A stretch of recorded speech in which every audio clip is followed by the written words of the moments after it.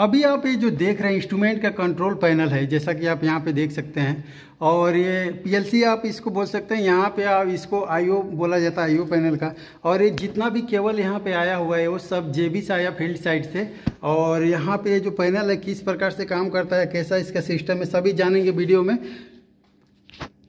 किस प्रकार से फेरुलिंग सिस्टम है, किस प्रकार से वायरिंग होता है, पूरा डिटेल से बताएँगे। अगर अभी तक चैनल को सब्सक्राइब नहीं किया तो प्लीज़ चैनल को लाइक, शेयर, सब्सक्राइब ज़रूर करें। चलिए वीडियो को शुरू करते हैं। सबसे पहले पैनल को चालू करने के लिए देखिए, यहाँ पे एसी सप्लाई आता है, जो कि यूपीएस से आता है।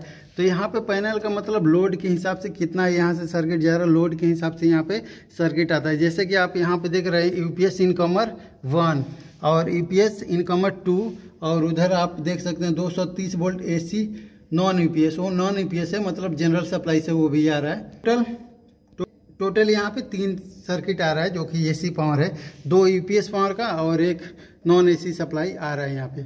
उसके बाद में ये जैसे ही हम सीबी को ऑन करेंगे तो ये पीएसयू में सप्लाई जाएगा। जैसा कि आप देख सकते हैं, चार पीएसयू लगा एक, दो और तीन, चार।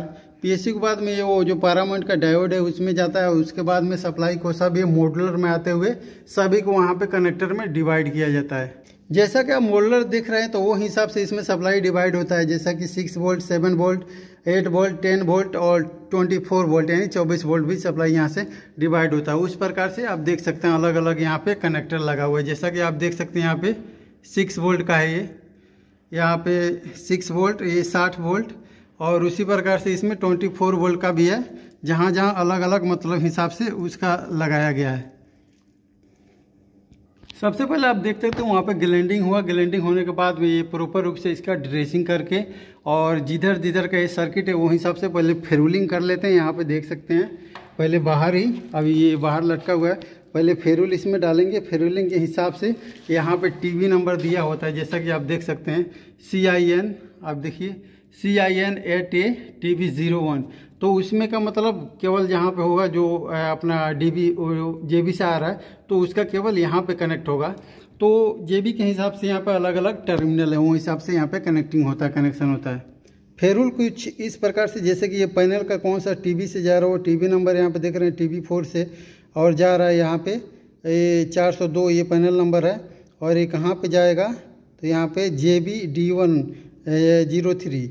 और यहाँ उसके बाद में ये जो जा रहा है एल फिफ्टी, उसमें जा रहा है अपना लिमिट स्विच में। इस प्रकार से जैसे कि मतलब ये टीवी से जेबी में जाएगा और वो जेबी से लिमिट स्विच सॉलनेट बाल्ब जैसा भी वहाँ पे इंस्ट्रूमेंट लगा है, सब में जाएगा।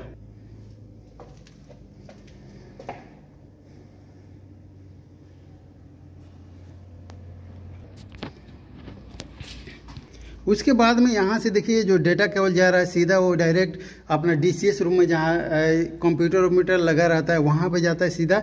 तो वहाँ से आप मतलब जो भी मॉडुलर के हिसाब से जैसा नंबर जो भी सोलनेट वाल पूरा वहाँ पे शो करेगा, वो सोलनेट वाल को क्या यहाँ से ऑन ऑफ़ कर सकते हैं।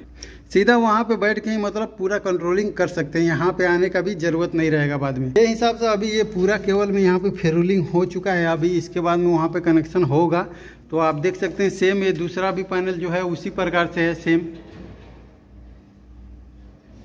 सेम उसी प्रकार से यहाँ पे आप देख सकते हैं, ये जो मॉडुलर से वायर आ रहा है, यहाँ पे सब कनेक्टेड है, और यहाँ पे सिक्स वोल्ट साठ वोल्ट ऐसा सब दिखा रहा है.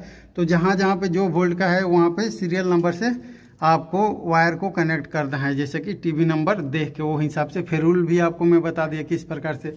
और यहाँ पे आप देख सकते हैं, जैसे कि ये 24 वोल्ट डीसी सप्लाई है तो वो हिसाब से 24 वोल्ट का मतलब यहाँ पे जो बस बार लगा हुआ है, वो 24 वोल्ट का ही लिंक है। बाकी यहाँ पे कहीं कहीं पे लिखा हुआ है सिक्स वोल्ट साठ वोल्ट तो हिसाब से मतलब यहाँ पे अलग अलग भी वोल्टेज प्रोवाइड किया जा रहा है।